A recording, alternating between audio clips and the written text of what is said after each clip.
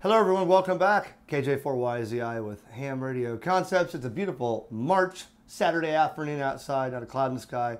Here I am trapped in this room again making videos, but it's been a, a hectic couple months working, had some stuff go on, and um, you know, got my head straight. So uh, let's get some videos going. And this right here is the topic of the video today. This is something I picked up in the last uh, about a month and a half. This is the new ICOM ID52 digital handheld from ICOM. The first time I played with this was with Ray Novak at Alabama uh, Huntsville Hamfest. And uh, if you're not familiar, when this came out, um, at, shortly after it came out in Japan, then they had a shortage on semiconductor parts due to some fires in Japan uh, overseas with uh, some manufacturing plants. And they couldn't source the parts, so they had to cease production for a moment for a few months until they got you know the sources correct and or uh, you know relinquished with different uh, engineering practices or whatever. And then they started releasing it again. So this is after all that. Uh, right about Orlando Hamfest time is when they came out, and I ended up purchasing one. I sold my Kenwood D74 that I bought in November. You've seen a video or two on that. Uh, that was a cool radio, and I paid a lot for it, but um, I had to let it go for this. And I, I that's just how it works, man. You get one, you get bored, you get another one. I knew this was coming out for a while. I wanted it. And I want to show you first in this video a quick look about this on why. Because there are people out there that, you know, make videos also or comments, and that's what I hear. Great, another handheld, yay, too expensive, I'll pass. Well, there's a lot of features I like about this and a lot of reasons that I sold the D74 for this, and I'm an ICOM guy, so I like this. If you're not familiar, the previous model to this was the ID51. They had ID51, 50th anniversary, which is the one I had, the lime green one, years ago, seven or eight years ago. Great handheld. Then they had the uh, 51A, 51A plus 2, and this now, all kinds of colors. And um, that was a great handheld. I haven't had one for a while, but when I had that, hotspots and repeaters in my area, or hotspots didn't exist just yet, and um, uh, repeaters in my area were non-existent, so I sold it, but it was fun. Now D-Star is just where I'm constantly at. So this brings more than just D-Star. You know, you can do stuff like picture messaging, uh, Bluetooth from your phone to send pictures over D-Star while you're talking to somebody, text messaging while you're talking to somebody, uh, mobile app so you can control the thing and find repeaters on a map and set the radio without having to, it's got a lot of cool stuff. I'm going to show you right now in a quick look, and I want to thank you to Ham Radio Prep, my sponsors, for helping me out in making videos like this. Uh, Ham Radio Prep is still getting tens of thousands of people that are getting their license, and it's better than just memorizing answers and doing a practice test over and over. They got interactive videos, quizzes, some brain games to make you retain some of the information on what you're learning and show you why you're calling CQ and how to make your first contact. It's on hamradioprep.com. Use the code ERIC20. You'll save 20% on anything you buy. And stay tuned to the video that I'm coming up with with the new American Radio Club, which is just made by Ham Radio Prep. It's got so much stuff. When you get your license, now what? American Radio Club is going to be what? So we'll show you that soon. Let's check out the new ID52 Quick Look. Then we'll get some other videos after this on Ham Radio Concepts.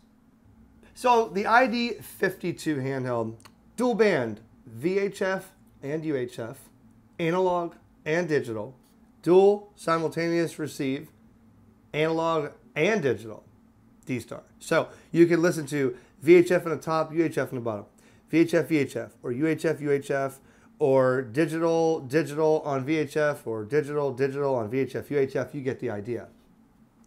5 watts, IPX7 rated, which means this can uh, withstand 3 feet of water for 30 minutes. That's the IPX7 rating. Ingress protection, X is not uh, tested against solid objects, and seven means it can go three feet in water or one meter for 30 minutes. So, as I asked Will Jourdain in Ham Radio Outlet, I can use it in the bathtub. It's not recommended, but I can. Or I could go out and do the rest of my re review videos in the pool on the raft and not be afraid if I drop it. This radio right here was what I hoped for. I asked Will Jourdain. I tested it myself. It is a lot louder. It's 750 milliwatts with a new speaker design and a new waterproofing design to prevent the speaker from being covered up by the waterproofing. It is much louder. If you turn this thing all the way up, you will hear it outside. That was my biggest complaint with the ID51 and the variants of that 51A plus 2 and stuff like that was because I want to be able to hear this thing. If I'm driving down the road or if I'm at Hamfest with it on my belt clip and I want to hear it, I got to be able to hear it. So, um, a great color display on here.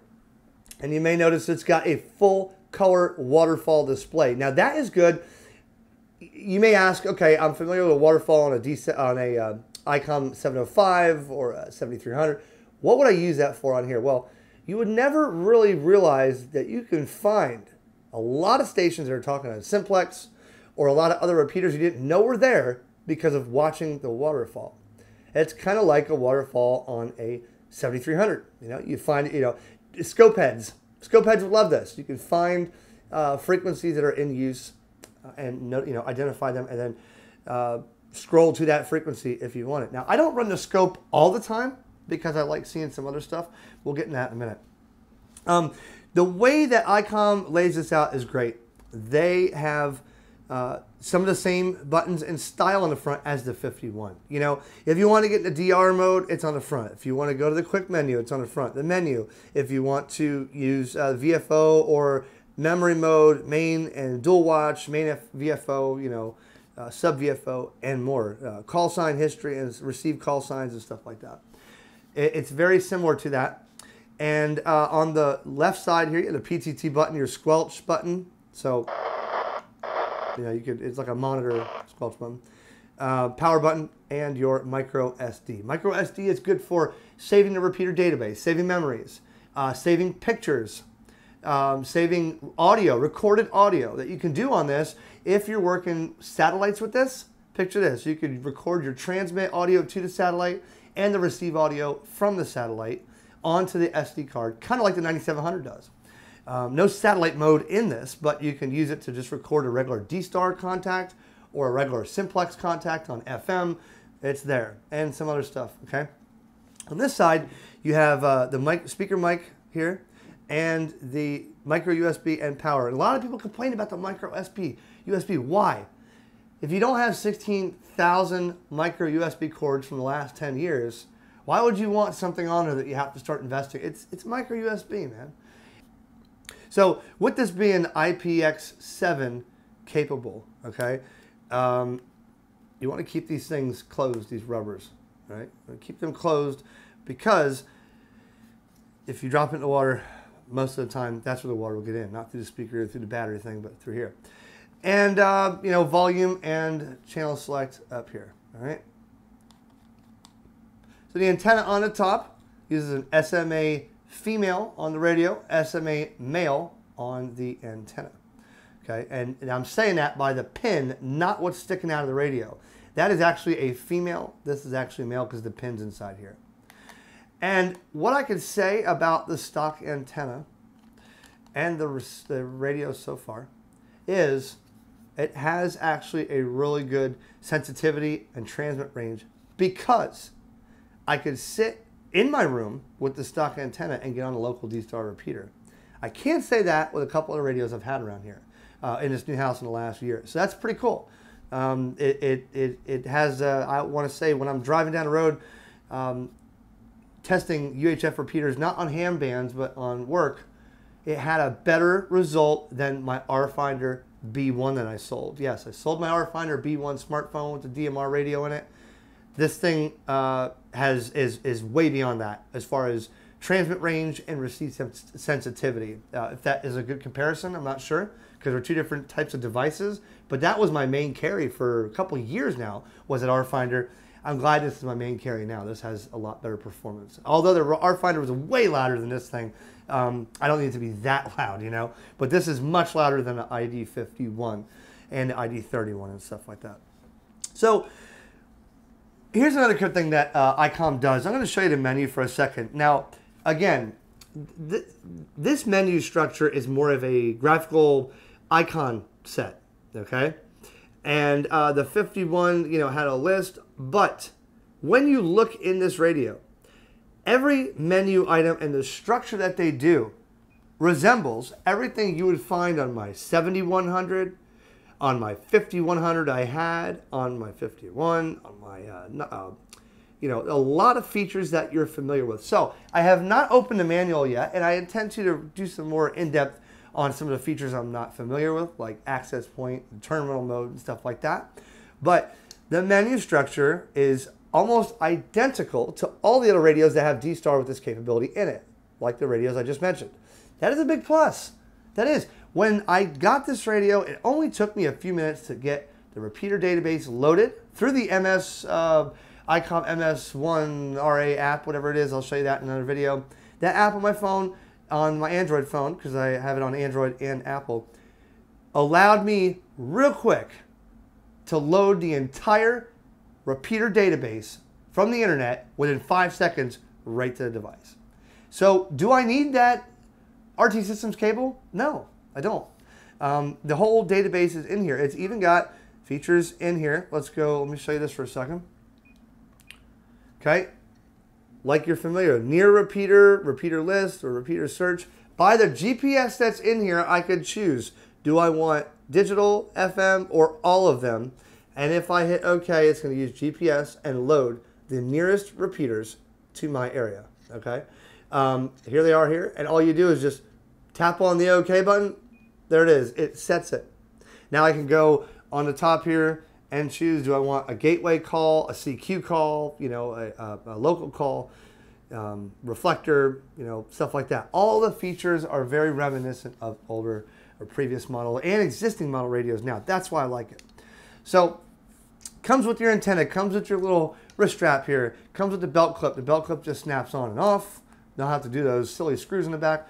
The battery that is in here, let me turn this off. The battery life, how's the battery life look? Okay, glad you asked.